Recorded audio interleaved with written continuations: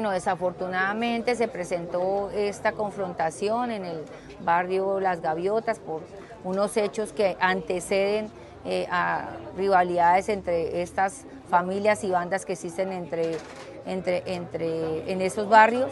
Eh, desafortunadamente uno de ellos eh, con arma de fuego impacta al, al muchacho, quien finalmente fallece.